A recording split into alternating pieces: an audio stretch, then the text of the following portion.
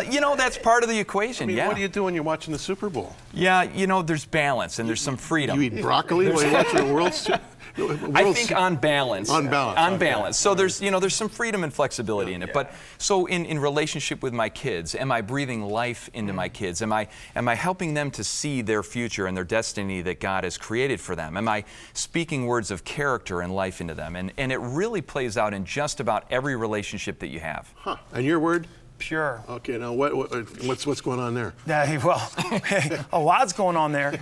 The, the interesting part is is when when Jesus says, uh, "Blessed are the pure in heart, for they will see God." It has a lot more than just sexual purity or physical purity. Which obviously, when I tell people and guys especially, "Hey, my word's pure," they're like, Okay. "Good, good luck, God help?" bless you," or "Hey, you got a problem." Yeah.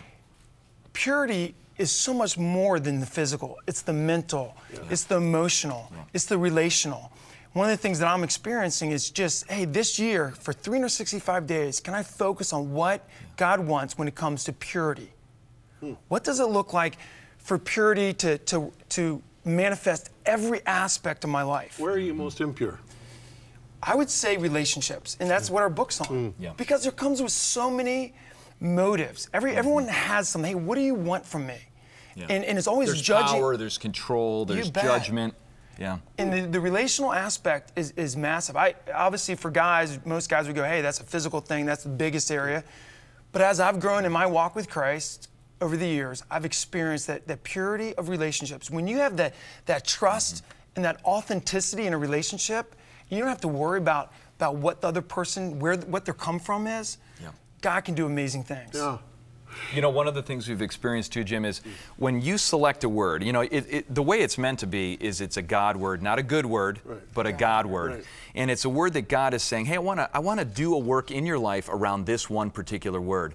We've discovered that when you select a word, that you will have tremendous opportunities for God to work things out in your life through that word.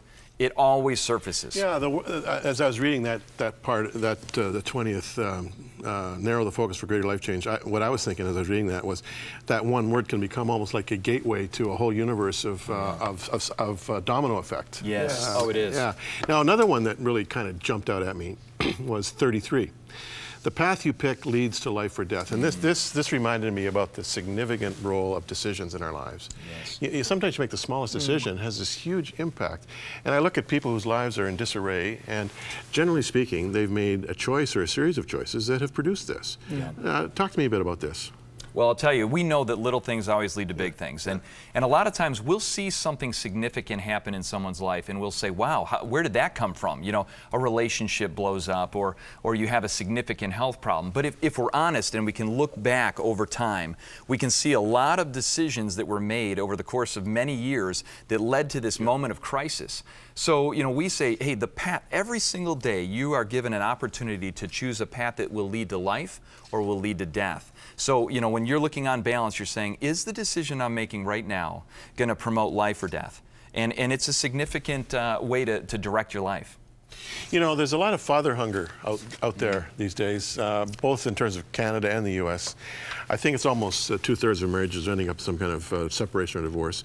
More and more teenagers, especially, and young boys and girls as well, are growing up without their dad. They- They've got a, um, a stepdad, or, or their mother has a live-in boyfriend, or their mother has nobody in, in her life, and so they have no no uh, male figure at all.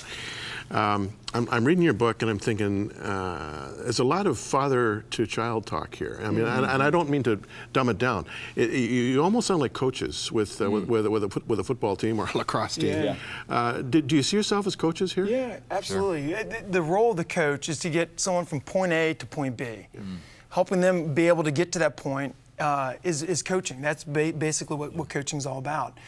We've experienced with Wisdom Walks, the cool thing about this whole life on life concept, we've experienced where we'll have fathers call, call us up. We just got, got an email the other day. Sits down every morning with his 11 year old over breakfast and is going through 40 principles.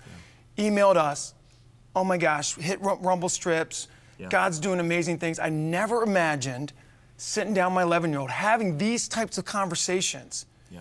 That I, that I just thank God that this book, this resource is in our hands. Did you guys have good dads? Yeah, I think, I mean, Dan, you had a great father. Yeah. And, and I would say I had a great relationship with my father to an extent. My father uh, also was an alcoholic, so we had some challenges in the home. We had some dichotomy, you know, kind of both ends of the spectrum. At one moment, greatest father on the planet, and the next one, it's like, my, you know, really? And uh, so I think what, one of the objectives of this book was to really create a tool where someone could fill in the gap, could stand in the gap for someone who maybe doesn't have that dad in their life or maybe has difficult relationships at home. Let's face it, we know our homes uh, throughout the world are broken. And even with intact homes, there's still opportunities for people to stand in the gap and be intentional and to tap someone on the shoulder and say, I see greatness in you. God has made you with great purpose. Can, can I walk alongside of you? Can I pour wisdom into your life so that you can fulfill the, de- the destiny that God has designed for you? Yeah. Yeah, my, my dad was off the charts. He loved Christ, came to Christ at a young age, uh, grew up in a Christian home. I had two older brothers. My dad was all about wisdom walks. He loved to engage with you. One of our, uh, actually, a couple of them, he talks about having three D's. One of the things that he was passionate about, Jim, was devotions. He always said the three D's of devotions are first, it starts out as drudgery, then it turns into a discipline, and then finally it gets to the point that it's a delight. And he was a model example of what it meant to be a godly father. You have a, uh, a kind of a, what do you call this? An inclu- uh, uh, Bookmark A, card. book, a, bookmark book, card. bookmark card. Okay, there you go. Bookmark card. It's a bookmark. You can Bookmark call it whatever you want. Yeah, very colorful. Let me show it to the camera here. Uh, on this side, you've got uh, Wisdom Walks, four key relationships. And then on this side, you've got uh, kind of um, a structure here of uh, watchman, walker, workman, warrior, and warrior. Just, we've got about two and a half minutes. Uh, what, what are we talking about here? One of the things that we realized is the four core relationships. We, we, we can have relationships in your church, everything. Bottom line is we identified four key relationships. Number one is the walker. The walker is someone that's passionately pursuing Christ, abiding and pursuing with everything they have an intimate relationship with Christ. You can't give away what you don't have. That's the walker. The second thing is, hey, do you have a warrior or two, one or two people you can surround yourself with that hold you accountable? Accountability relationships. It's about challenging and sharpening. The third relationship is getting a watchman, somebody that's a season beyond you, someone that, that has gone through life that can sit down with you and invest in your life. We are finding more and more there's solo Christians out there, people living isolated. Hey, do you have someone that's intentionally investing in your life? Uh, I would want that. I can't find that person. That's a watchman. And lastly, is a workman. Somebody that you're now pouring in. You become the, the watchman to the workman that you're investing in and able to, to see God do some amazing things. You know, this relational uh, emphasis is so critical. I, I don't think you can accomplish anything in the world today for the Lord outside of relationships. I mean, that, relationships in ministries, relationship individually. Uh, there's so there's there's so much there, so much strength in relationships. Just final minute, Jimmy. Uh, you, you can speak for yourself. I won't ask you to speak for for uh, your partner here, but. What have you learned in this process of writing this book? Like, wh- hmm. has anything kind of blindsided you or surprised you? Yeah, you know what? I think the, the biggest thing that I've learned is that I need the words in this book as well as everyone else, that we're no different than anyone else. We're, we're trying to navigate life well, and we are trying to live for the Lord in a way that honors Him and, and also has has generational impact. And, and so we're in it together. You know, that, that we're not coming from the platitudes and, and telling people how to do it.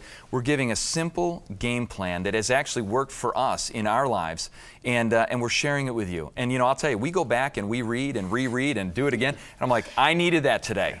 Jimmy Page, Dan Britton. The book's called Wisdom Walks 40 Life Principles for a Significant and Meaningful, meaningful Journey. Thanks for coming our way, guys. Looking forward to the Truth to Go segments.